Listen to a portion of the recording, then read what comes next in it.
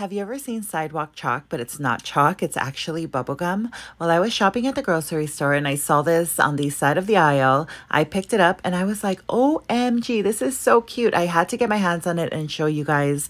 I totally recommend for you guys to get your hands on it. Follow for more.